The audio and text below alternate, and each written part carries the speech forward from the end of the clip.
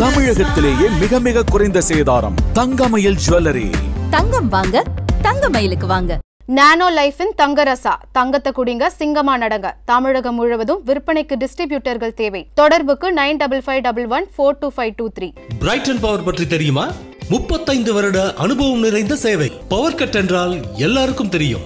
இனி Brayton power பற்றியும் தெரியும். பிரைட்டன் பவர் அண்ணன் அவர்களை இருபத்தைந்தாயிரம் வாக்கு வித்தியாசத்துல ஜெயிக்க வச்சீங்க. இப்போ இருபத்தைந்தாயிரம் பத்தாது. எவ்வளவு? ஒரு லட்சமா? ஐம்பதாயிரம் வாக்கு வித்தியாசத்துல ஜெயிக்க வச்சு பண்ணுவீங்களா நம்முடைய அண்ணன் அவர்கள் இந்த பகுதிக்கு பல திட்டங்களை கொண்டு வந்துள்ளார். இந்த பகுதி மக்களின் தாகத்தை தீர்க்கிற வகையில காவேரி கூட்டு குடிநீர் திட்டத்தை கொண்டு வந்தது நம்முடைய அண்ணன் அவர்கள் தான். அதுதான் அண்ணன் அவர்கள் செயல்படுத்தினார்கள். அதேபோல விரைவில் காவேரி கூட்டு குடிநீர் திட்டம் ரெண்டு செயல்படுத்தப்படுகிற வாக்குறுதியை அண்ணன் அவர்கள் கொடுத்திருக்கிறார். மல்டி ஸ்பெஷாலிட்டி ஹாஸ்பிட்டல் இந்த பகுதிக்கு வேணும்னு கோரிக்கை வச்சிருக்கீங்க. கண்டிப்பாக அதையும் அண்ணன் நம்முடைய தலைவர் முதலமைச்சராய் அண்ணன் அமைச்சராய் கண்டிப்பா அதையும் இந்த பகுதிக்கு உங்களுக்கு செஞ்சு கொடுப்பார். அதே போல சிப்காட் சிப்காட்டையும் கொண்டு வந்து உங்களுக்கு கொடுப்பார். சொத்து வரி வரன்முறை வரன்முறை என்று உயர்த்தப்பட்டுள்ளது. அது கழக ஆட்சி அமைஞ்சவுடன் கண்டிப்பாக குறைத்து தரப்படும். நம்முடைய அண்ணன் அவர்கள் இங்க இந்த தொகுதிக்கு மட்டும் முதியோர் உங்களுக்கு தெரியும். கிட்டத்தட்ட முப்பத்தஞ்சாயிரம் முதியோர்களுக்கு பென்ஷன் தொகை வழங்கிட்டு இருந்தாங்க நம்முடைய ஆட்சியில. இப்போ அந்த படிப்படியா குறைச்சு மொத்தமா கூட்டிட்டாங்க.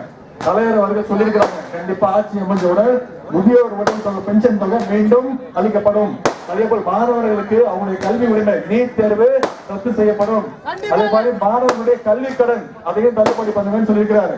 கேஸ் சிலிண்டர் வேலை உங்களுக்கு தெரியும். திமுக ஆட்சியில ஐநூறு ரூபாய் இந்த கேஸ் சிலிண்டர் இது.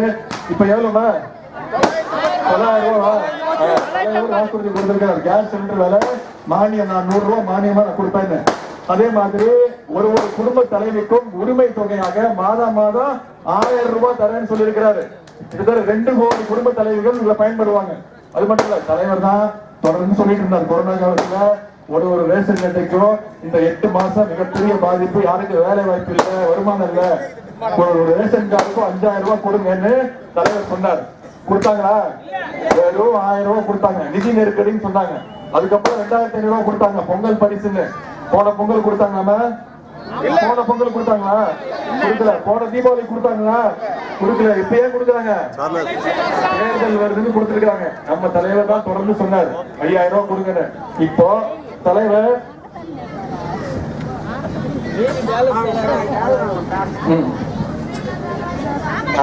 அதிமுக ஓட்டு கேட்ட வருவான்ல அப்ப கேட்கணும் இந்த கேள்வி. நல்ல கேள்வி.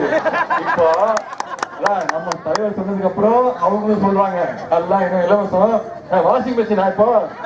எல்லாம் கொடுத்துருவாங்க வாஷிங் மிஷின் தலைவர் சொல்லியிருக்கிறாரு ஒரு ஒரு குடும்பத்திற்கும் கொரோனா உதவி தொகையாக நிவாரண தொகையாக நாலாயிரம் ரூபாய் நான் கண்டிப்பா திமுக ஆட்சி வந்தா கண்டிப்பா கொடுப்பேன்னு சொல்லியிருக்கிறாரு. கேஸ் சிலிண்டர் விலை கம்மி பண்ணுவேன் இருக்காரு பெட்ரோல் விலை டீசல் விலை அஞ்சு ரூபா தலை நாலு ரூபா தலை அஞ்சு ரூபா கம்மி பண்றேன்னு சொல்லியிருக்கிறாரு.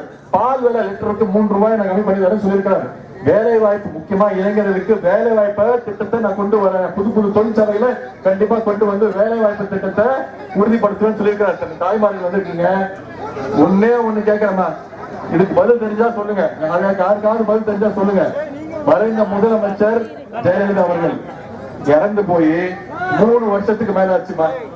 இத்தனை பேர் இருக்கீங்களே? உங்களை யாராவது ஒருத்தருக்கு தெரியுமா? அந்த அம்மா எதனால இறந்தாங்கன்னு? எப்படி செத்தாங்கன்னு யாருக்கா தெரியுமா? யாருக்குமே தெரியாதுமா. நீங்க மறந்துட கூடாது. அந்த அம்மாவை எண்பது நாள் அப்போலோ ஆஸ்பத்திரியில அடைச்சு வச்சிருக்காங்க. ஞாபகம் நீங்க மறந்துட்டீங்கன்னு நினைச்சிட்டு இருக்காங்க. ஏன்னா அதிமுக அந்த அம்மா மறந்துட்டான். அந்த அம்மாவை மறைந்த முதலமைச்சர் ஜெயலலிதா அவர்களை எண்பது நாள் அப்போலோ ஆஸ்பத்திரியில அடைச்சு வச்சிருந்தாங்கம்மா யாரையுமே பார்க்க விடல. அந்த அம்மாவோட சொந்தக்காரங்க தீபான்னு ஒரு பொண்ணு. விவேக்னு ஒரு பையன். அந்த சொந்தக்காரங்க கூட பார்க்க விடல. கேட்டுக்குள்ள விடல. அப்போது ஆஸ்பத்திரி உள்ள விடல. ஒரு ஒரு அமைச்சரும் வெளில வந்து பேட்டி கொடுத்தாங்க. அம்மா இன்னைக்கு இட்லி சாப்பிட்டாங்க. அம்மா இன்னைக்கு இட்லிக்கு சட்னி தொட்டு சாப்பிட்டாங்க. அம்மா இன்னைக்கு ஜூஸ் குடிச்சாங்க. இதெல்லாம் நான் சொல்லமா அமைச்சர்கள் சொன்னது. அப்புறம் ஒரு நாள் அமைச்சர் சொல்லிட்டாரு. அம்மா இன்னைக்கு செத்து போயிட்டாங்கன்னு.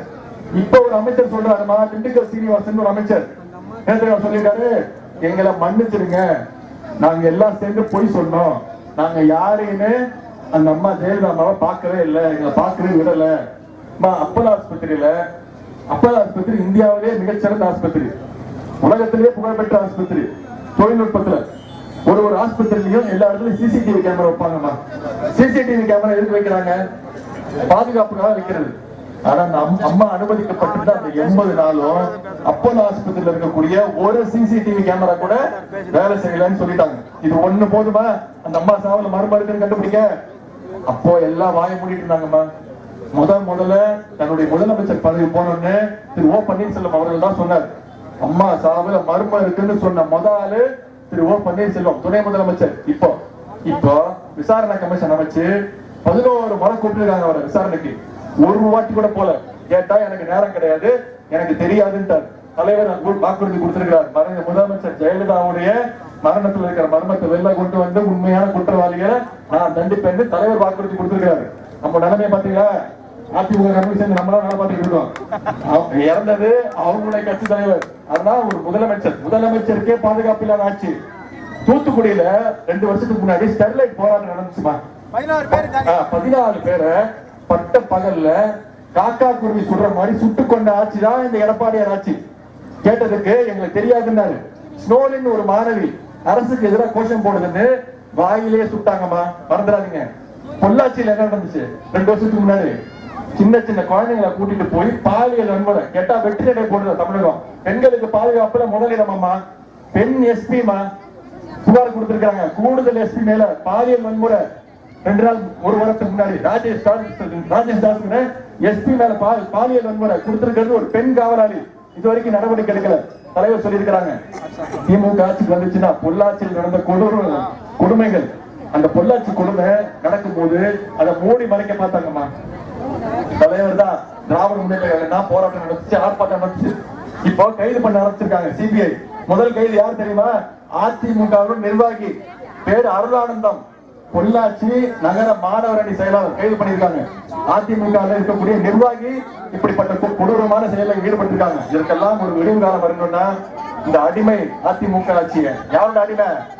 மோடியோடைய அடிமை அதிமுக ஆட்சிய வீட்டுக்கு அனுப்பணும்னா நீங்க ஆறாம் தேதி ஆறாம் தேதி வாக்குச்சாவடிக்கு போய் அந்த துறைமுகம் பேர் இருக்கும் வாக்குப்பெட்டியில. அதுக்கு நேரா உதய சூரியன் சின்ன இருக்கும் அதுல குத்துறீங்க பாருங்க ஒரு குத்து. அதுதான் மோடியோடைய தலையில குத்துற குத்து.